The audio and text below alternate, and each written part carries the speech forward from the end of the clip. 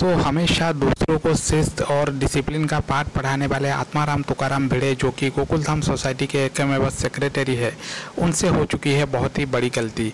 जैसा कि आप सबने पिछले एपिसोड में देखा था, माधवी भाभी ने भिड़े को घर के सामान जो है उसको ठीक जगह पर रखने के लिए कहा था और साल के शुरुआत के साथ ही भिड़े ने अपने घर के जो बचे कुचे कवाड़ थे, उसको बाहर ले जाने की ठानी। तो माधवी अपने भिड़े को कहा कि आप लेकर इसे बाहर फेंक दीजिए, लेकिन आप सब जानते हैं कि भिड़े तो अपने ज़माने में जीते हैं, यानी कि पुराने ज़माने में जीते हैं। तो भिड़े ने क्या किया कि वो जो भंगार का सामान था, उसको भिड़े ने सोसाइटी के ऑफ़िस में रख दिया।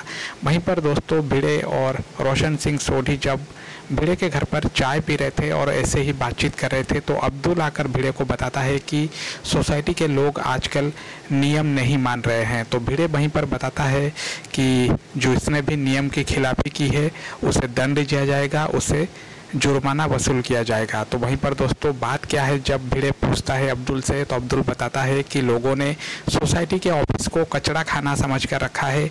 इसने अपने घर का भंगार का सामान लाकर ऑफ़िस के अंदर रख दिया है। तो भिड़े वहीं पर शौक में आ जाता है। अब देखते हैं दोस्तों, आगे क्या होता है।